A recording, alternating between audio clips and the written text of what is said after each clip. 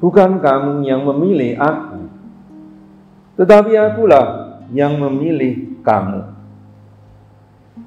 Dan aku telah menetapkan kamu supaya kamu pergi dan menghasilkan buah. Dan buahmu itu tetap. Supaya apa yang kamu minta kepada Bapa dalam namaku, diberikannya kepadamu. Inilah perintahku kepadamu, kasihilah seorang akan yang lain. Kita mungkin masih ingat ketika orang-orang Farisi menegur Yesus dan murid-muridnya karena mereka tidak berpuasa. Apa jawab Yesus? Hah? Ya. Dapatkah sahabat mempelai laki-laki berpuasa? Ya. Jadi sebetulnya dengan kata-kata ini Yesus meletakkan dasar dari iman Katolik yang berbeda dari agama-agama lain yaitu persahabatan.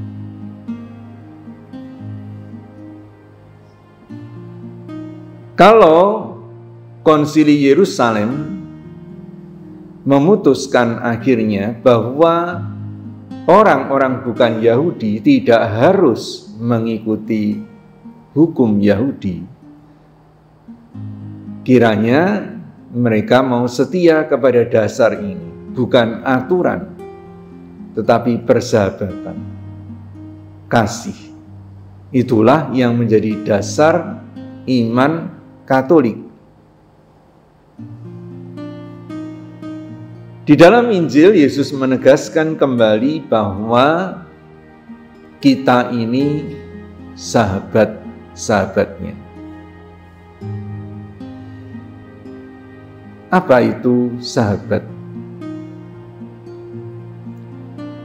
Kalau kita mengakui seseorang sebagai sahabat kita, Pertama-tama kita itu bertekad ya, untuk menjalin pergaulan dengan sahabat kita itu.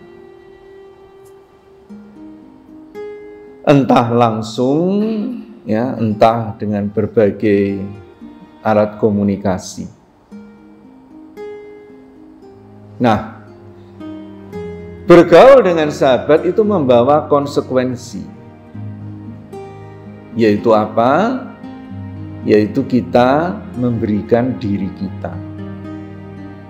Waktu kita. Tapi juga kadang-kadang juga pikiran kita dalam arti kita mau diubah pikiran kita. Dengan kata lain juga kita mau diubah diri kita. Syukur bahwa Tuhan Yesus itu mau menjadi sahabat kita. Dan Tuhan Yesus mau supaya kita itu menjadi sahabat semua dan setiap orang. Karena dengan demikian kita itu terus-menerus harus mau membaharui diri. Kalau suami istri ya menikah dan mereka sungguh-sungguh mau setia sebagai sahabat, ya mereka konsekuensinya harus terus-menerus membaharui diri untuk menyesuaikan dengan sahabatnya, dengan pasangannya. Begitu persahabatan berhenti, mereka saling memaksakan kehendak. Ya, perkawinan itu sebetulnya lalu menjadi neraka. Persahabatan berarti menghargai manusia. Kita tidak memperlakukan sahabat seperti hamba. Hamba itu harus selalu menuruti apa yang kita katakan. Sahabat lewat persahabatan itu ada dialog. Dan dari dialog itu kita terus-menerus membaharui diri lewat menyesuaikan diri. Kiranya itulah semangat itulah yang membuat gereja ini terus membaharui diri. Yang membuat kita ini anggota-anggotanya juga terus membaharui diri.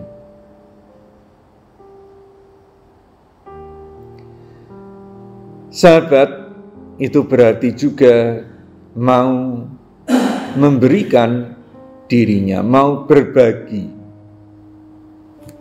Aku menyebut kamu sahabat, karena aku telah memberitahukan kepada kamu segala sesuatu yang telah kudengar dari Bapakku. Kita, saudara-saudariku, mau mendengarkan Yesus setiap saat dalam hidup kita, mau bergaul dengannya. Kita mau mengungkapkan juga seluruh diri kita kepada Yesus. Terhadap seorang sahabat yang kita percaya, kita tidak mau menjaga penampilan kita. Kita mau sungguh-sungguh terbuka kepada sahabat itu. Karena kita percaya bahwa ia menerima diri kita apa adanya. Karena kita percaya kalau perlu ia boleh mengoreksi saya. Dan saya percaya bahwa koreksi itu bukan untuk menjatuhkan saya, tetapi untuk menumbuh kembangkan saya. Inilah yang harus kita pegang dalam hidup kita. Selalu terbuka kepada Yesus sebagai sahabat kita, supaya kita juga dapat selalu terbuka kepada sesama dan kebutuhannya, juga se sebagai sahabat kita.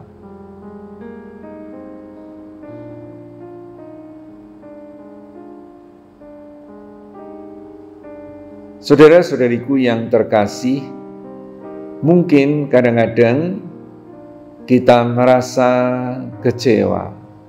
Kecewa bisa bersumber dari berbagai permasalahan dalam hidup kita, tapi juga kecewa itu bisa sampai kepada Tuhan. Kekecewaan itu juga bisa dalam wujud rasa ketidakpantasan ketidakpantasan kita lagi untuk menjadi sahabat Tuhan. Karena itu Yesus perlu meneguhkan kita bahwa menjadi sahabatnya itu bukan dimulai dari kita, tapi dari Tuhan Yesus. Bukan kamu yang memilih aku, tetapi akulah yang memilih kamu. Dan Yesus mau konsekuen dengan pilihannya. Karena itu, jangan pernah kita merasa tidak layak di hadapan Yesus. Karena Yesus memilih kita bukan karena kita ini layak. Yesus memilih kita karena Ia mencintai kita. Ia mau menjadi sahabat kita. Karena itu apa pun juga keadaan kita, kita selalu diundang untuk datang kepadanya. Semakin jauh dari dia, semakin jauh persahabatan kita dengan Yesus, semakin kita ini tidak selamat. Tetapi kalau kita mau terus bersahabat dengan Dia, juga dengan segala ketidakpantasan kita, kita juga mau membuka diri supaya Ia terus-menerus juga mengoreksi dan menumbuhkan kita. Yesus bukan hanya mengajak kita menjadi sahabatnya.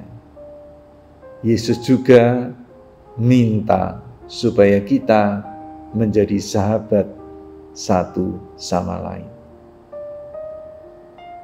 Inilah perintahku kepadamu, kasihilah seorang akan yang lain. Dengan kesadaran-kesadaran ini, saudara-saudariku, marilah kita membuka diri kita juga selama retret ini untuk menyadari bahwa kita ini adalah sahabat yang dikasih oleh Tuhan dan kita diundang, kita diajak untuk menjadi sahabat satu sama lain.